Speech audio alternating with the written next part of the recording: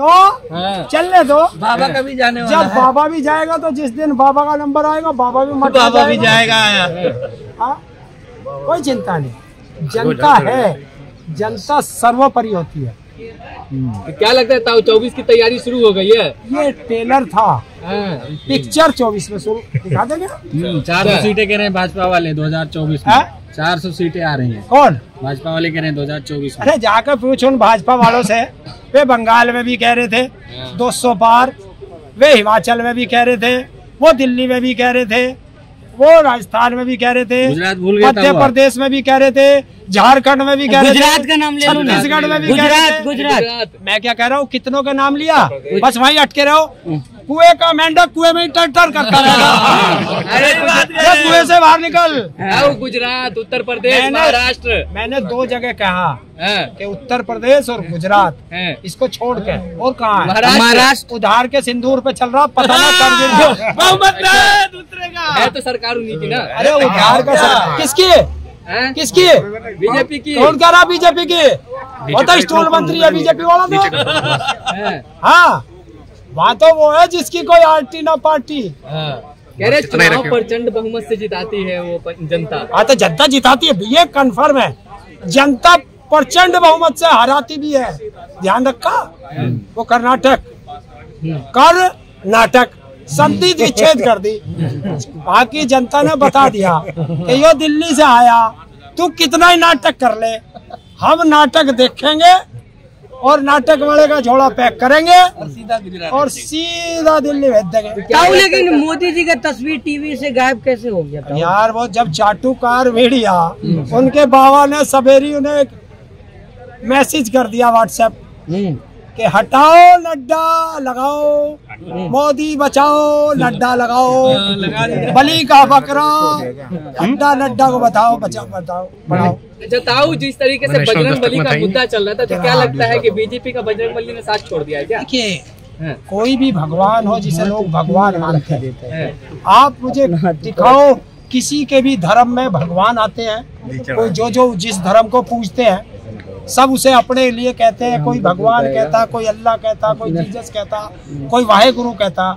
जिसके जो भी पूजने हैं कभी उन्होंने अधर्मियों का साथ दिया है? हम्म। तो अधर्मियों का कोई भगवान साथ नहीं ये लोग अधर्मी है। हैं? ये लोग अधर्मी है। अरे चालीस परसेंट का टैग जिसके माथे पर लग रहा हो रिश्वत मांगने का वो अधर्मी तो है। धर्म को ठेका आप ही ने लिया क्या? नहीं मैंने। हिंदू मैंने कहा कहा मैंने ये कहा है कि अधर्मी को भगवान कभी पसंद नहीं करते। एक स्टेट जीतते ही दिमाग में बिल्कुल क्यों कौन सा किसका? जनता का आसमान में दिमाग रहता है ये ध्यान रखना। मोदी मैजिक क्या हुआ था मोदी मैजिक अरे फेल हो गया। ड्रामा एक बार देखोगे दो बार देखोगे बार बार एक ही ड्रामा नहीं देखता कोई। बदल जाता। चौदह में भी चला उन्नीस में भी चला कह रहे चौबीस में भी चलेगा। उनतीस में चलेगा सैतालीस तक चलेगा शाह तक। चलेगा। कौन कह रहा? हैं? बीजेपी वाले कह रहे हैं। वो कौन? सा बीजेपी मोदी जी कह रहे हैं कि एक अकेला सब पर भारी है। कौन? एक अकेला एक अकेला सब पर भारी जो है पीछे जो 300 बैठे थे वे सारे गधे बैठे थे क्या संसद में? 300 सांसद जो बैठे थे वो गधे थे क्या? चार बैठेंगे मैं यही तो कहता हूँ कि गुलाम है। बीजेपी में जितने लोग हैं सारे गुलाम हैं। शेर है बोल सारे क्यों नहीं पाए? शेर हैं? बब्बर गुलाम तो इधर थे जो तो हो। जानवरों को तो हम तो पिंजड़े में बंद रखते हैं चिंता क्यों कर रहा? हम्म, हाँ? मोदी मुक्त भारत हो रहा है क्या? जानते हो हम कौन है? कौन है? हम शेर को भी कुत्ता समझ के दंगियाले हैं, समझ रही आगे? ताऊ। हाँ। मोदी मुक्त भारत हो रहा है क्या हाँ? मोदी मुक्त भारत हो रहा है क्या हाँ होगा। कब तक होगा? अहंकारी को जनता हराएगी। कब तक होगा? कब तक होगा? बस चौबीस में कर ले काम को चिंता मत कर। एक चीज़ बताइए अमित शाह कह रहे थे मैं दूरबीन लेकर के देख रहा हूँ कांग्रेस कहीं दूर दूर तक नज़र नहीं आ रही है। पता नहीं दूरबीन का शीशा खराब हो गया होगा। हाँ। हाँ वो शीशा लगवा दो भाई उसे। अच्छा कांग्रेस ज़िंदा है? हाँ? कांग्रेस बची हुई है? क्यों कहाँ चली गई? अभी तो शायद मेरे हिसाब से कई प्रदेश में दिखा है। है भाई क्या में है राजस्थान छत्तीसगढ़ और तीसरी स्टेट अब आई है। एक चीज़ एक चीज़ नहीं समझ आया ताऊ हरियाणा में कहाँ है? पहलवानों के आंदोलन हिमाचल। अब ये कांग्रेस की जीत का जश्न मनाने आ गए हैं ताऊ। जनता की जीत का जश्न हर इंसान को मनाना चाहिए। तो कांग्रेस की जीत जनता की जीत हो गई। कौन कौन कह रहा? अभी तो कह रहे हैं। जनता जीतती है। पार्टी कोई नहीं जीतती। तो ताऊ जनता जिताती हैं।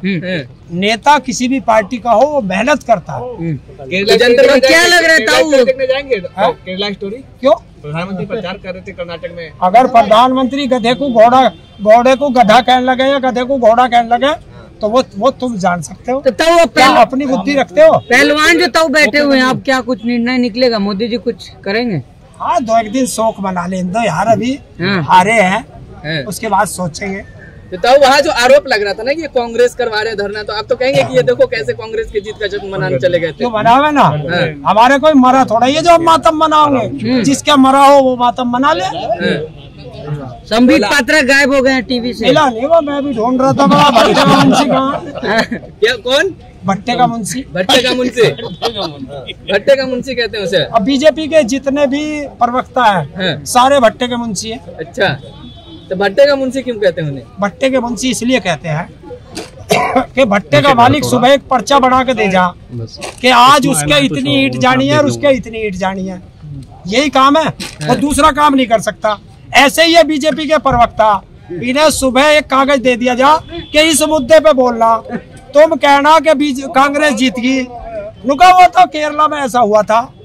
तुम कहना कि वहाँ से के, वो कौन से प्रदेश में आग लग रही थी? मणिपुर। मणिपुर में कि वो चल रहा है तो वो कहेंगे ना पाकिस्तान में हालत खराब है। तो जो देश की बात ना करके देश के मुद्दों पे बात ना करके दूर दूर भागेगा वो देश का गद्दार व्यक्ति होगा। ऐसे पत्रकार और ऐसे भट्टे के मुंशी जनता दौड़ा लेती है। और मैंने ये भट्टे के मुंशी स्टूडियो में चाटे खाते भी देखे हैं। संबित पात्रा तेज तर्रार प्रवक्ता है बीजेपी के। हैं? तेज तर्रार प्रवक्ता है बीजेपी के। जो चाहे वही चाटे लगा दे वही जगलिया ले। है। ना? चलिए ठीक आप विधायक लड़ने वाले हैं। अरे हाँ विधायक ही लड़े ताऊ जिस दिन चुनाव लड़ेगा उस दिन मोदी को पटका नहीं देगा मोदी सीधा? सीधा। दो दो हाथ। सीधा दो दो बनाने जा रहे हालाँकि सवाल जगह नहीं है उस सवाल का लेकिन बहुत महत्वपूर्ण सवाल है। कर्नाटक चुनाव में जिस तरह से रुझान आया सुपड़ा साफ़ हो रहा मोदी जी का कह रहा है, अब परिवर्तन की तैयारी हो चुकी बिल्कुल, आपने बिल्कुल सही कहा। कल कर्नाटका में चुनाव हुए और जितने सर्वे पहले भी आ रहे थे और कल भी जितने सर्वे थे, उसमें कहीं ना कहीं कांग्रेस की गवर्नमेंट बन रही तो ये अपने आप में एक अलग टाइप का संकेत है। इस संकेत को आदरणीय प्रधानमंत्री जी को भी समझना चाहिए, भारतीय जनता पार्टी वालों को भी समझना चाहिए। और मैं तो ये कह रहा कि आने वाले टाइम में चार राज्यों में और चुनाव आ रहे, राजस्थान में होगा, मध्य प्रदेश में होगा, छत्तीसगढ़ में होगा, इन चारों राज्यों में भी कहीं ना कहीं कांग्रेस की सरकार बनेगी। ये डॉक्टर कुलदीप मलिक इस बात को बोल रहा। और ये 2024 से पहले का सेमीफाइनल हो रहा। इसको कांग्रेस जीतेगी और इस जीत के दम पे कहीं ना कहीं 2024 में शायद एक अलग निर्णय जनता का देखने को मिलेगा। ठीक है तो बहुत शुक्रिया। तो क्या लग रहा है अब चुनाव का एक चुनाव जो कह रहे थे सेमीफाइनल है कर्नाटक का चुनाव वो तय करेगा। तो क्या लोकतंत्र बच रहा है? अब ये लोकतंत्र रिज़ल्ट आने दीजिए आप। तब जनता सोचेगी अब जनता भी विश्वास खो चुकी है ये बता रहा हूँ मैं आपको। अच्छा। जनता का भी कॉन्फिडेंस लगना गया सरकार हटने से ये मुद्दे सोल्व होंगे? हम यहाँ किसी सरकार को लाने नहीं आए लेकिन ये मुद्दा सोल्व होगा क्या? ये तो जनता थे- जनता सॉल्व कराएगी। हम लोग जनता के लोग हैं हम लोग जुड़ चुके हैं हम अपने घर से आए हैं किसी के बुलाने थोड़े आए हैं। आए हैं फिर आएँगे और जब तक बेटियाँ बैठी हैं तब तक उनके समर्थन में आते रहेंगे। कब तक गवर्नमेंट नहीं मानेगी? ठीक है। आखिरी सवाल है आपसे। तेरह तारीख को पर कल क्या हो रहा है? निश्चित तौर पे बीजेपी का सुपड़ा साफ़ हो रहा है। बीजेपी वहाँ 30 से 40 सीटों पे सिमट जाएगी। जनाधार कांग्रेस पार्टी के साथ है, क्योंकि कांग्रेस पार्टी की जो योजनाएँ हैं, जो उसमें चुनावी मुद्दे इन्होंने रखे मैनिफेस्टो में तो वो बड़ा बिल्कुल आम आदमी के लिए युवाओं के लिए महिलाओं के लिए बुज़ुर्गों के लिए सबके लिए गरीबों के लिए एक संतुलित मैनिफेस्टो है। कोई भी सांप्रदायिक बात नहीं है जबकि प्रधानमंत्री के आपने वहाँ पे भाषणों में देखा होगा सिर्फ़ सांप्रदायिक बातें कर रहे थे। तो मैनिफेस्टो में जनता देखिए मैनिफेस्टो जनता को जो है दो वक्त की रोटी चाहिए। जनता को दो वक्त की रोटी चाहिए धर्म से साफ़ पेट नहीं भरता। जिस तरीके से आप जिस तरीके से आपने देखा केरल स्टोरी को एक मुद्दा बना रहे हैं जबकि वो एक फ़िल्म है काल्पनिक घटनाओं पे आधारित फ़िल्म है ठीक है इसी तरीके से कश्मीर फाइल्स आई थी वो भी एक फ़िल्म थी। फ़िल्म में ये लोग हकीकत देखते हैं और जो हकीकत में चल रहा है मणिपुर में क्या चल रहा है? मणिपुर पे प्रधानमंत्री जी गृह मंत्री जी का मौन है और गृह मंत्री जी तो कर्नाटक में ये कह रहे थे कि अगर कांग्रेस की सरकार आ गई तो दंगे होंगे और मणिपुर में क्या हो रहा भाई वहाँ किसकी सरकार है? वहाँ तो डबल इंजन की सरकार है ना भाई। केंद्र में आप हो और वहाँ राज्य में भी आपकी सरकार है। हज़ारों लोग बेघर हो गए। सत्रह सौ से ज़्यादा जो मकान है वो जल गए। सौ के आसपास लोगों की मृत्यु हो चुकी। हज़ारों की संख्या में लोग घायल हो गए। लेकिन साहब, प्रधानमंत्री और गृह मंत्री कहाँ है जी? चुनाव में भी जी है।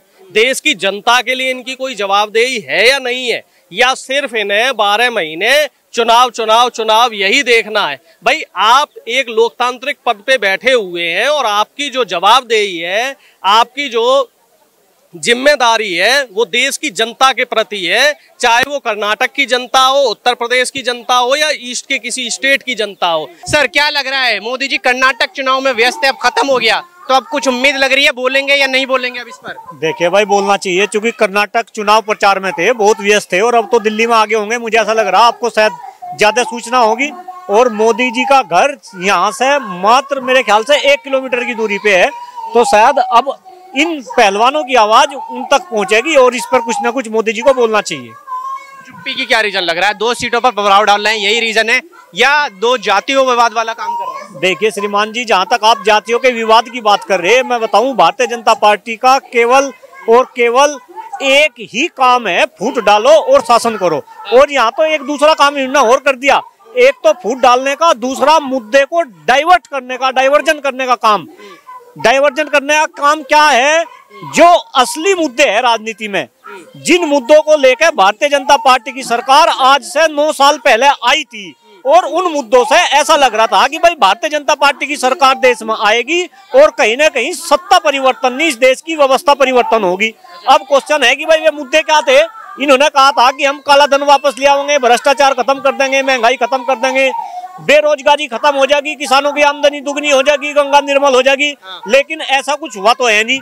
अब कहीं ना कहीं जनता इनसे इन मुद्दों पे बात करती, उससे पहले ही ये मुद्दे को ले गए जाति में, धर्म में, संप्रदाय में, मंदिर में, मस्जिद में। अब तो कहीं ना कहीं ये जनता को समझना और जनता को समझ के इसका प्रतिकूल जवाब कहीं ना कहीं इस भारतीय जनता पार्टी की सरकार और मोदी जी को देना। लोग कह रहे हैं कि ठाकुर हैं वो, और ठाकुर जो है वो मुख्यमंत्री बने हुए यूपी के। यूपी ना निकल जाए, इसलिए ब्रजभूषण पर हाथ नहीं डाल रहा है। लोग कह रहे हैं कि ठीक है जाट समुदाय कम समुदाय है लेकिन हम एक वहाँ से नाराज़ नहीं करते। हाँ। ये एक मुद्दा बन रहा है। हाँ नहीं नहीं बिल्कुल आप सही कह रहे और कहीं ना कहीं ये बीजेपी वाले भारतीय जनता पार्टी वाले भी ऐसा ही चाह रहे इनमें बताना इनका तो काम लड़वाने का है। ये हिंदू को मुसलमान में मुसलमान से लड़वा दे। मैं आपको बताऊँ यही काम इस देश में अंग्रेज़ों ने करा 200 साल तक इस देश में शासन करा उन्होंने हिंदू मुस्लिम को लड़वाया। अगर हिंदू के मंदिर के अंदर उन्होंने जो है गाय का मांस पकवा दिया मस्जिद के अंदर जो है सुअर का मांस फकवा दिया, हिंदू मुस्लिम आपस में भिड़वा दिए। अब यही काम भारतीय जनता पार्टी के लोगों ने किया और धीरे धीरे लोगों ने इनकी चाल को पहले समझानी। लेकिन क्योंकि आदत वाला अपनी आदत तो छोड़ता नहीं, पहले ये हिंदू मुस्लिम की बात करने लगे, अब हिंदू के अंदर भी ये जातियों में लड़वाने लगे। अब ठाकुर को ये जाटू से लड़वाने लगे। मैं ये कह रहा कि अपराधी केवल अपराधी है। वो उसकी ना कोई जाति होती, ना धर्म होता, ना संप्रदाय होता। अगर ब्रजभूषण सिंह को ऐसा कहा जा रहा कि भाई उन्होंने अपराध करा। सुप्रीम कोर्ट के अंदर, सुप्रीम कोर्ट में ये बच्ची आ गई, उनकी एफआईआर भी दर्ज होगी। क्यों भाई, उसे जो है पद से क्यों नहीं हटाया जाता? क्यों उनकी जो है संसद सदस्यता जो है निरस्त क्यों नहीं करी जा सकती? और निष्पक्ष जाँच क्यों नहीं हो सकती? और अगर वो अपराधी साबित हो तो उन्हें जेल के अंदर क्यों नहीं डाला जा सकता? ये सभी के लिए सोचनी है। धरने के पीछे कांग्रेस है। मैं आपको एक बात बताऊँ, इस देश में जितने भी आंदोलन हुए, जी, मैं तो याद दिलाना चाह रहा 2014 से पहले देश में दो आंदोलन आंदोलन हुए, अन्ना जी का आंदोलन हुआ, वो भ्रष्टाचार को लेकर हुआ। इसके अलावा जो है, बाबा रामदेव ने आंदोलन करा, वो काले धन की मांग को लेकर करा। इन्हीं आंदोलन के दम पे भारतीय जनता पार्टी की सरकार बनी। जब यही भारतीय जनता पार्टी वाले थे, उनके आंदोलन में जो है, सीना तान के जाते थे।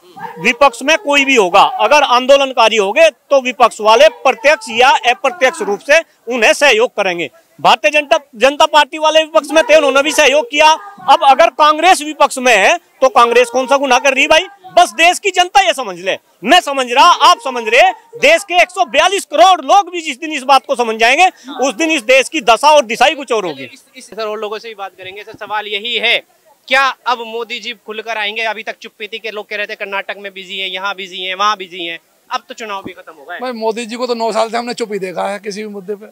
कभी बोलते ही नहीं। लेकिन वो तो कहते थे मनमोहन सिंह चुप रहते हैं। किसे नहीं उनको मौनी बाबा कहते थे असली मौनी बाबा का तो पता चला है। अच्छा। किसी मुद्दे पे नहीं बोलते। आप कितनी कोशिश कर लेना बोलेंगे ही नहीं। हाँ। कतई नहीं बोल सकते। अच्छा। नहीं बोलेंगे। तो क्या कब तक रहेगी चुप्पी है किसान आंदोलन ग्यारह बारह ये तो हम लोगों को समझना पड़ेगा ना। वो कब बोलते हैं? यही काम किसी भाजपा से अलग व्यक्ति ने किया होता। अब तक बहुत देर सारी भाजपा मुस्लिमों ने करा था पूरी भाजपा आ जाती। मुस्लिम नहीं कोई हिंदू भी करता किसी दूसरी पार्टी का होता कोई विरोधी होता तो उस पर कार्रवाई होती। तो उनसे कार्रवाई होती लेकिन भाजपा किसी भी मैटर पे आप देख लीजिए उनसे संबंधित कोई व्यक्ति है उसके खिलाफ कोई कार्रवाई नहीं करते स्ट्रेटेजी है। और ये लोकतंत्र है गजब का लोकतंत्र है इसमें जवाबदेही नहीं है। भाई लोकतंत्र का मतलब क्या है? जो चुनी हुई सरकार है वो जनता के प्रति जवाबदेह है हर प्रश्न का उसे उत्तर देना है कहीं भी कोई प्रश्न पैदा होता है उसका उत्तर उस गवर्नमेंट को देना है लेकिन यहाँ उस प्रश्न का उत्तर ही नहीं देना है। अजीब लोकतंत्र है सवाल यही है क्या अब कब तक चलता रहेगा? ग्यारह महीने का लग गए थे वहाँ पर किसान आंदोलन में। महीने तेरह महीने लगभग किसान आंदोलन में लगे तो यहाँ भी समय लगेगा। क्योंकि हमारा जो प्रधानमंत्री है और जितने भी हमारे बीजेपी के नेता है तो इनकी जो पास की नज़र है वो कमज़ोर है। इनको दिल्ली में जो घटनाएँ होती हैं वो नहीं दिखाई देती हैं। और यही विपक्षी राज्य में कहीं कोई घटना हो जाती इस तरीके से या विपक्षी दल का कोई नेता इस तरह की कोई घटना कर देता तो प्रधानमंत्री अब तक तमाम तरीके के बयान दे चुके होते। लेकिन देखने में ये आ रहा है कि हमारा प्रधानमंत्री न्याय करने में भेद कर रहा है। अगर यही कोई विपक्षी राज्य में हो जाता बिहार में ये घटना हो जाती या ये घटना बंगाल में हो जाती जिस तरीके से ये पहलवान बैठे हुए हैं अगर यही घटना बिहार या बंगाल की होती तो हमारा प्रधानमंत्री अब तक कुछ ना कुछ एक्शन ले चुका होता। लेकिन चूँकि ये घटना ब्रजभूषण शरण सिंह ने की है। और जो अ, मामला है वो पार्टी का मामला है तो निश्चित तौर पे प्रधानमंत्री और प्रधानमंत्री के साथ साथ खेल मंत्री और पूरा मंत्रिमंडल ब्रिजभूषण को बचाने में लगा पड़ा है जो कि बड़ा ही दुखद है बड़ा ही दुर्भाग्यपूर्ण है। कह रहे हैं ठाकुर जो है इस चक्कर में ये अब सीधा सीधा ठाकुर विवाद पे आ गया है इसलिए हाथ नहीं डाल रहा है क्योंकि ठाकुर जो है बहुत बड़ा वोट बैंक है यूपी में। और 24 के चुनाव आने वाले देखो कहीं ना कहीं साहब एक बात तो सच है कि उत्तर प्रदेश में अगर कोई सजाती है मुख्यमंत्री जी का सजाती यानी कि ठाकुर बिरादरी का कोई भी नेता है और उसके ऊपर किसी भी तरह का केस लगता है तो सरकार उसको बचाने में लग जाती है। कोई एक उदाहरण नहीं है ब्रजभूषण का पहला उदाहरण नहीं है चिन्मयानंद के साथ यही रहा। कुलदीप सेंगर के साथ यही रहा, ब्रजेश सिंह के साथ यही है, राजा भैया धनंजय सिंह, इस तरह से लगभग लगभग 40 से ज़्यादा ऐसे अपराधी हैं जो मुख्यमंत्री की जाति से आते हैं और मुख्यमंत्री जी हमारे जो उत्तर प्रदेश के हैं, वो उनको बचाने में लगे हुए हैं। और फिर ये कहते हैं कि साहब, बुलडोजर जो है वो बहुत फास्ट काम कर रहा है। तो मुझे ऐसा लगता है कि बाबा की जो का भी जो न्याय करने का तरीका है, वो जो है भेदभाव वाला तरीका है और यही वजह है कि बाबा भी ब्रजभूषण को बचाने में लगे और केंद्र सरकार भी ब्रजभूषण को बचा रही है।